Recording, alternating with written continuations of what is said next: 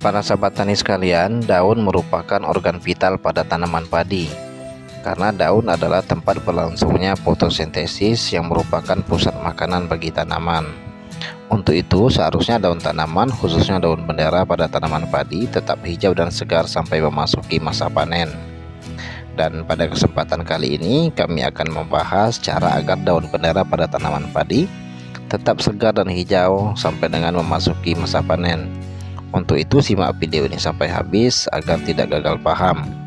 Namun sebelum saya lanjutkan, berkenan kiranya para sahabat tani sekalian mengklik tombol subscribe sebagai bentuk dukungan kepada kami agar kami tetap semangat dan konsisten dalam menyediakan video-video edukasi tentang pertanian.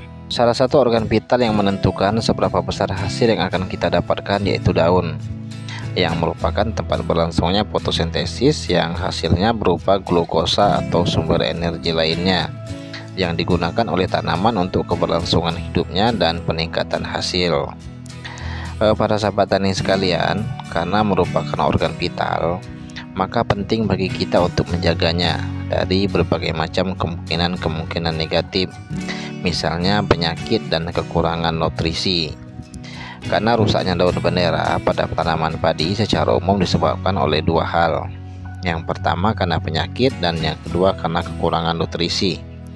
Untuk itu seharusnya menjaga daun bendera tetap hijau sampai dengan masa panen menjadi skala prioritas bagi para petani karena hal, hal ini akan menentukan keberhasilan dalam panen nantinya. Para sahabat tani sekalian, karena rusaknya daun bendera disebabkan oleh dua hal di atas, maka kita dapat melakukan hal-hal sebagai berikut untuk menjaga daun bendera tersebut. Misalnya yang pertama, menjaga daun bendera dari berbagai macam penyakit seperti penyakit belas dan penyakit hawar daun yang merupakan tugas dari fungisida. Untuk itu para sahabat tani sekalian, aplikasikan fungisida sebelum mulai keluar atau sebelum daun bendera terserang penyakit sebagai bentuk protektif dari berbagai macam penyakit tersebut. Sebenarnya banyak sekali fungisida yang dapat dipakai seperti fungisida skor, dari Sijenta, Pungisida Kamisake dari Petrokimia Kayapu, eh, Pungisida Turbinol dari Saprotan Utama, atau bahkan menggunakan fungisida yang berbahan aktif tembaga seperti Kuproxat dan Nordox apabila daun bendera benar-benar telah terinfeksi jamur. Yang kedua, lakukan pemberian nutrisi tambahan yang mengandung kalium fosfat yang tinggi atau pada pupuk MKP yang kedua, lakukan pemberian nutrisi tambahan yang mengandung kalium fosfat yang tinggi, seperti pada pupuk MKP yang diberikan pada saat penyerbukan selesai sampai dengan pengisian bulir atau sampai dengan malai terkulai. Karena biasanya jika tanaman kekurangan nutrisi, maka tanaman akan mengambil nutrisi yang ada pada daun, yang mengakibatkan daun khususnya daun bendera cepat menguning dan kering sebelum pengisian bulir secara sempurna sehingga berpengaruh terhadap kepadatan bulir pada malai.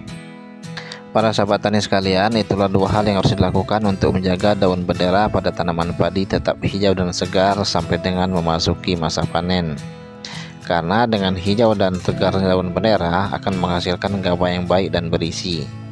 Dan tidak kalah pentingnya, dengan segar dan tetap berdiri tegaknya daun bendera juga akan mengurangi serangan burung emprit atau burung pipit. Dan cara tersebut adalah pengalaman yang saya lakukan dalam beberapa kali musim tanam terakhir ini. Eh, para sahabat tani sekalian demikian pembahasan yang dapat saya sampaikan. Semoga video singkat hari ini dapat menambah wawasan dan pengetahuan juga dapat menjadi referensi bagi para petani sekalian dalam melakukan usaha pertanian dan sekali lagi berkenan kiranya para sahabat tani sekalian mengklik tombol subscribe apabila video singkat ini dirasa bermanfaat.